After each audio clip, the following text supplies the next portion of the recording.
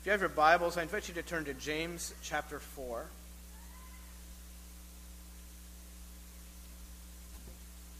What causes quarrels and what causes fights among you? Is it not this that your passions are at war within you?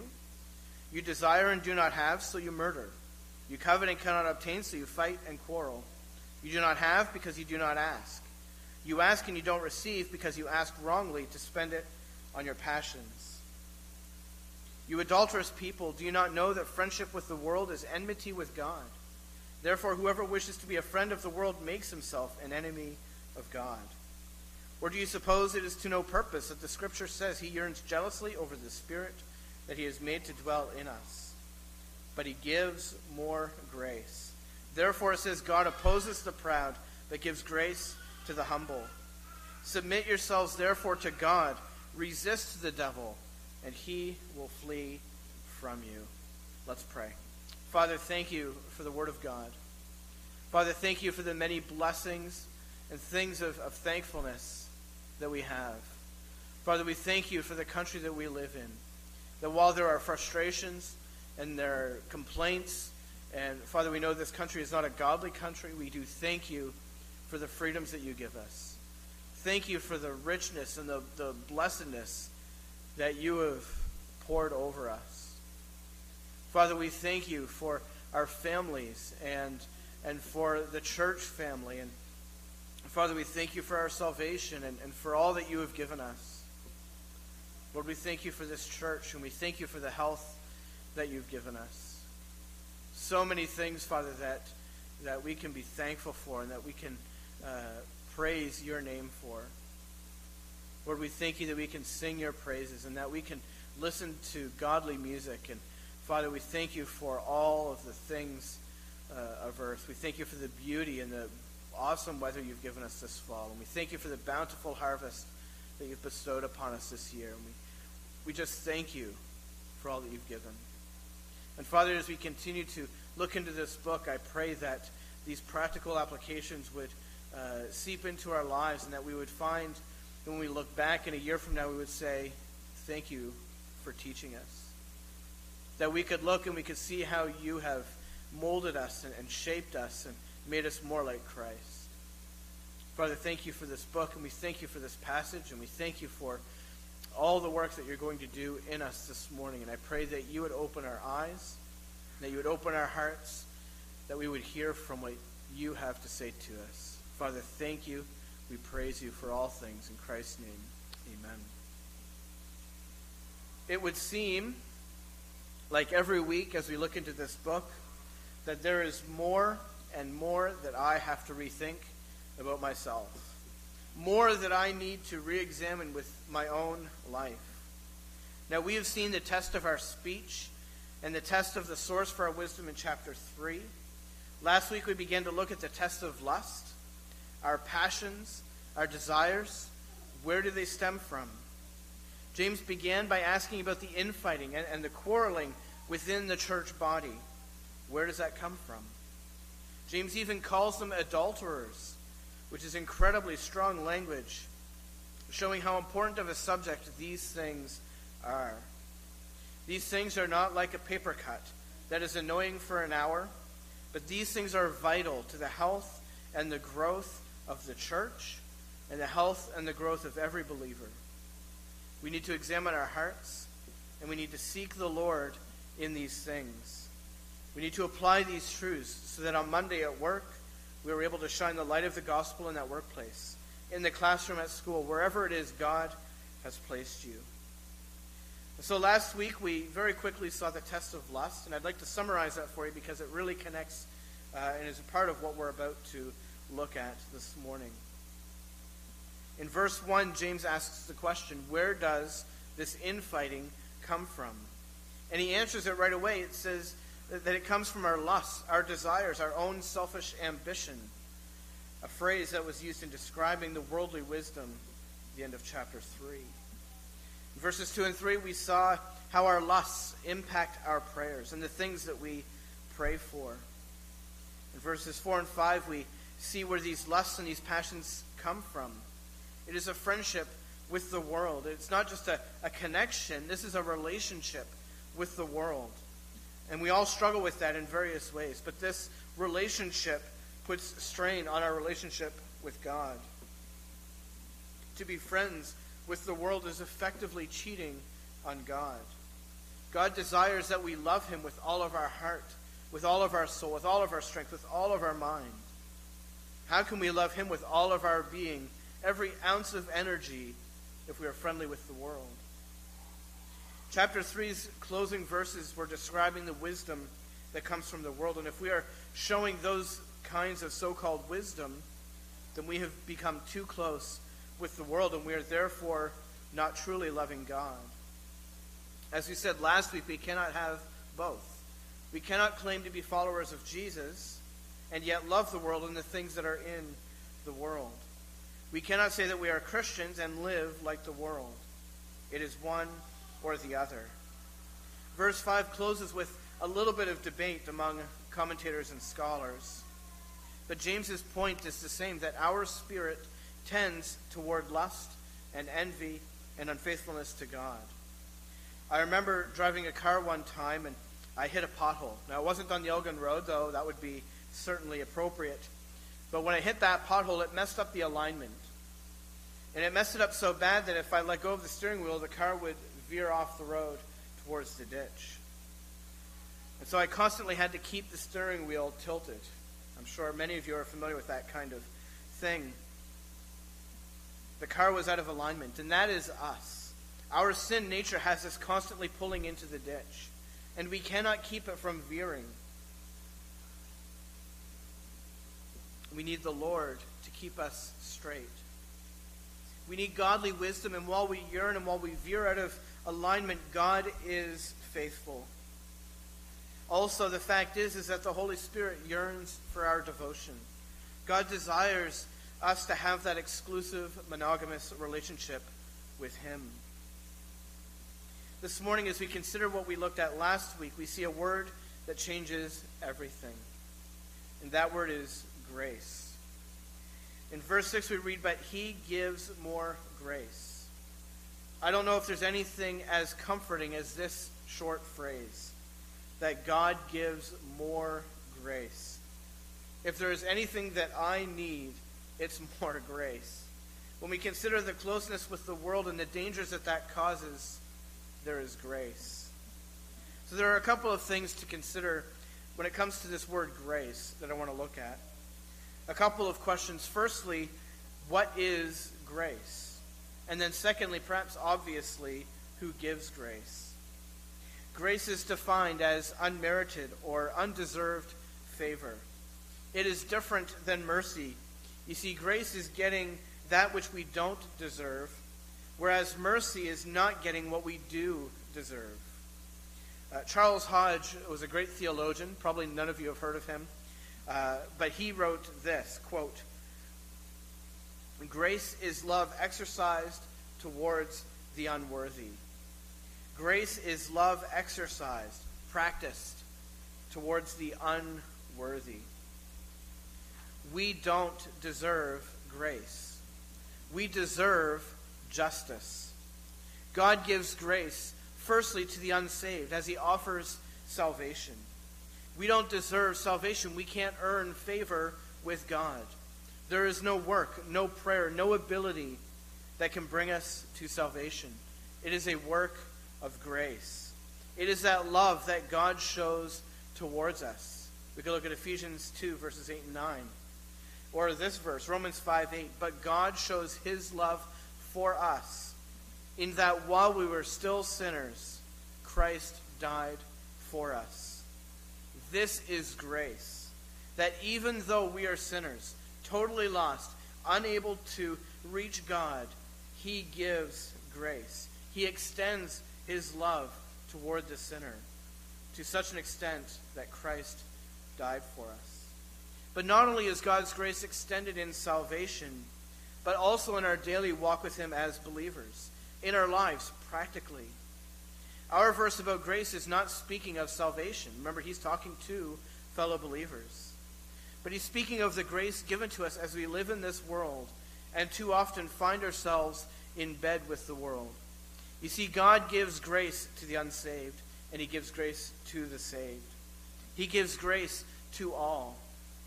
When we consider the fact that James is telling us not to be friends with the world, it is because we often are.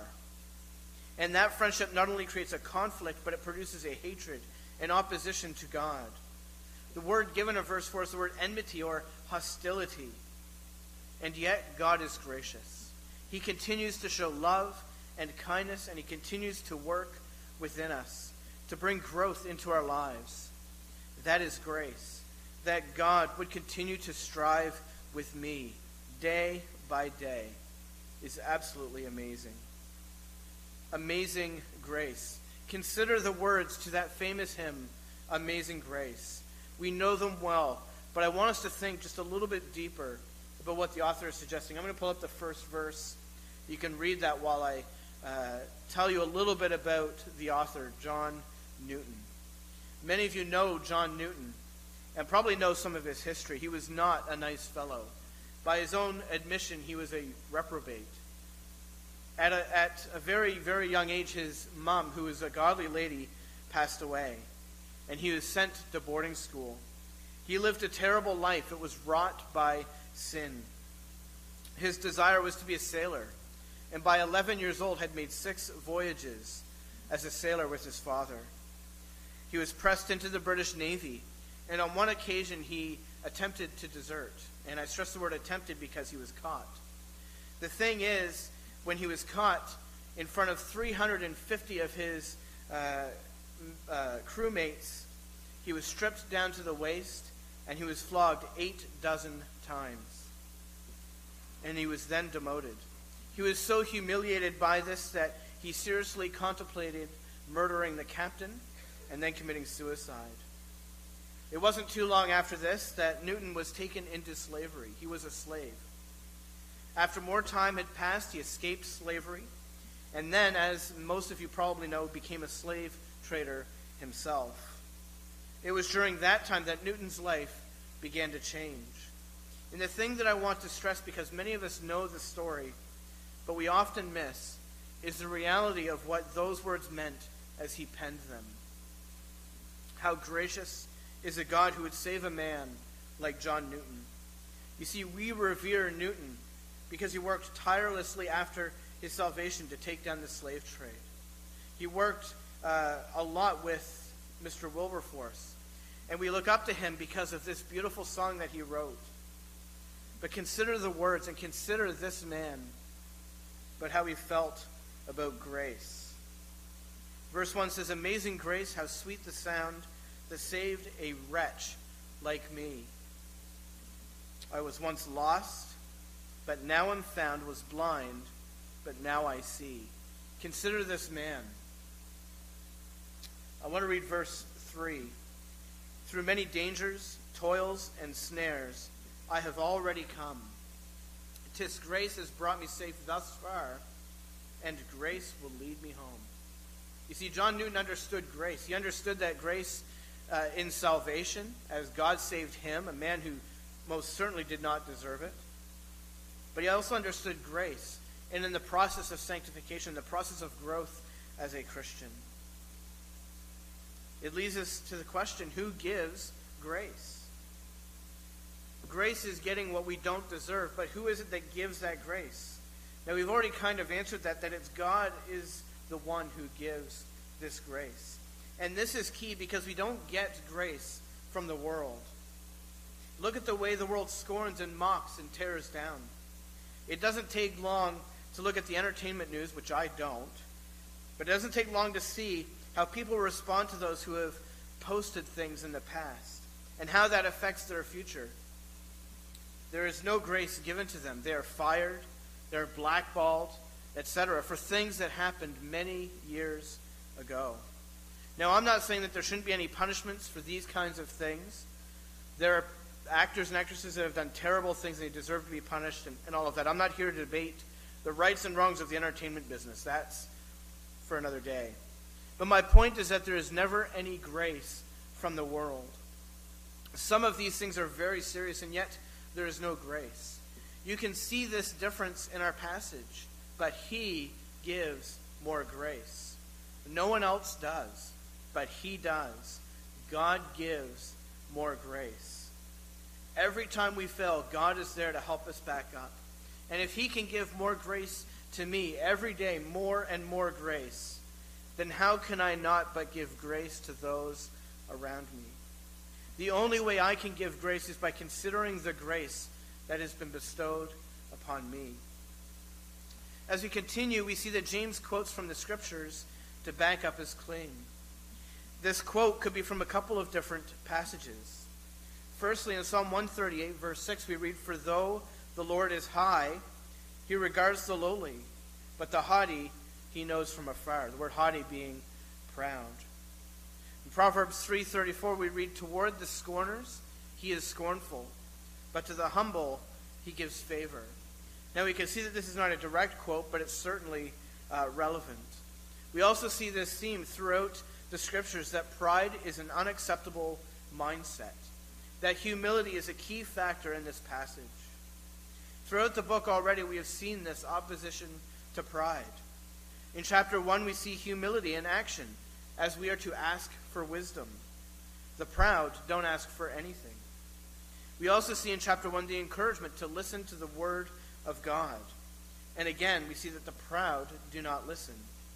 They are not hearers, for they feel like they know everything already.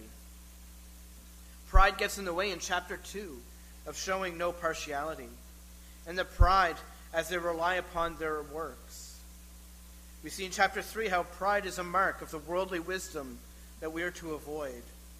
There is no pride found when one is truly seeking the Lord. Humility is a key component of the Christian life. Jesus himself, King of kings and Lord of lords, lives a humble life. He was not proud, he was not arrogant, he was not puffed up. Jesus, the Son of God, the Savior, does not stick out his chest, but he is meek and lowly and humble. You see, what James is getting at is that all of these tests can only be done when we are truly humble. If we are humble, we won't be fighting with one another. If we are humble, we will seek after godly wisdom. Along with humility comes submission. James tells us that we need to submit to God. We need to be placed under his authority. Not only do we submit, but we also resist.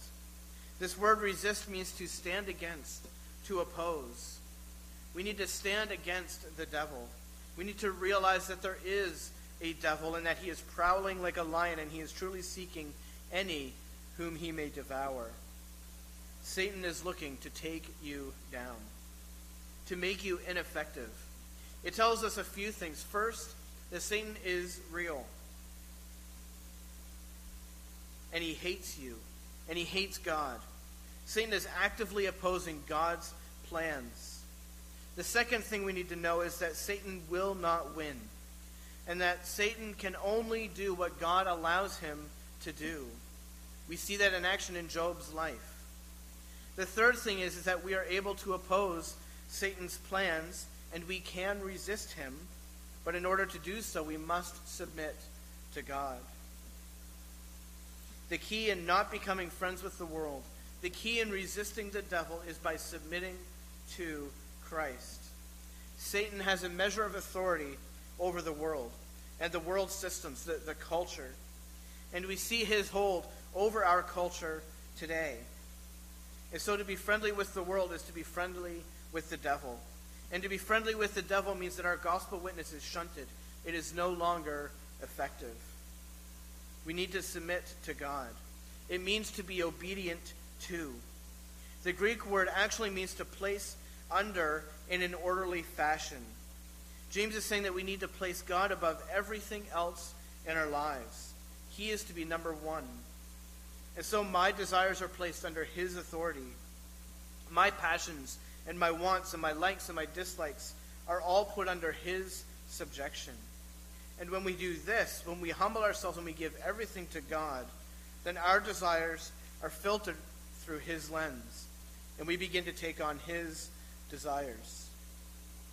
Here's an example.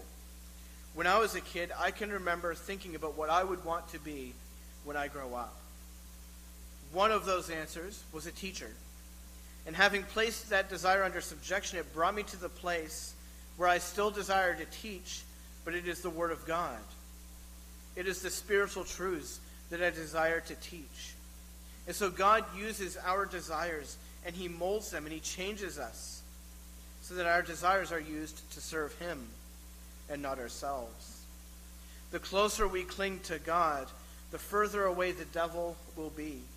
The more we resist the devil, the more he will flee. However, this submission and resistance is a daily, even hourly at times, process. It is not a Sunday decision that lasts for a week, but we all know how hard it is to resist the devil and to submit to God. It is so easy to let pride come back, to let the world attract our attention, to let the devil deceive us. We are not left to deal with our passions and desires on our own. How thankful we can be that God gives more grace. His grace is sufficient, Paul would say. That even though Paul was dealing with that thorn in the flesh, whether that was physical or spiritual or mental, Paul understood that God's grace was enough. It was sufficient. John MacArthur said this quote, The only ray of hope in man's spiritual darkness is the sovereign grace of God, which alone can rescue man from his propensity to lust for evil things. When I consider the fact that I am a pastor, all I can think is of how gracious God is, how God could use me of all people. We need to recognize who we truly are, how sinful we truly are, and the blessing that God gives as he bestows grace upon grace. The truth is, as your pastor, I don't deserve your grace. I don't deserve your compassion and the love that you show on my family, but I am ever grateful for it. When we consider the grace of God, that we that should be our attitude. Too often I have become friends with the world. Too often I have committed spiritual adultery with the Savior, against my Savior. I do not deserve his grace. And yet it is his grace bestowed on me that brings not only salvation, but service. We can have a relationship with God. Not just salvation, but a lifetime of grace. Grace is not just sufficient in salvation, but his grace is sufficient and abundant in our daily lives. No matter where we are today, no matter how worldly you have become, seek God's grace today. Satan might have tied you down. He might have you sinking in quicksand, but resist him and humble yourself before God. You might be thinking, I'm too far gone. Look at where I am. God can't use me. Those are lies from Satan. Resist him and submit. Place God as the sole priority in your life. Place God above your spouse, above your children, above your grandchildren. Put God first. Serve Him. Love Him with all of your heart, soul, mind, and strength. Pursue godliness and flee from temptation. Avoid pride and envy and selfish ambition and run to God today. Father, I pray that as we consider the, the topic of grace, that you would continue to show your grace to us. That even the breath upon my lungs is because of your grace. Father, thank you that you have bestowed grace upon us in salvation. And I pray that any that might be here that have not known your salvation, that they would place their faith in you today. That you would show your grace upon them and that they would be converted that they would be uh, called a son of God. Father, I pray that you would help us as believers to rely upon your grace, upon grace, upon grace. That in our daily lives, as we go through and we fail so many times, I pray that you would continue to give grace. And we thank you for your grace. Father, I pray that you would help us to resist the devil. Father, help us to take a stand against him to take a stand against the cultural norms of our day. Father, help us to show grace to others. That while this world is graceless and harsh, I pray that we would show grace and forgiveness and love, even to those who are considered unlovable. Father, help us to show grace. Help us to recognize your grace in our lives, and help us, as we recognize your grace, to, to extend that to others.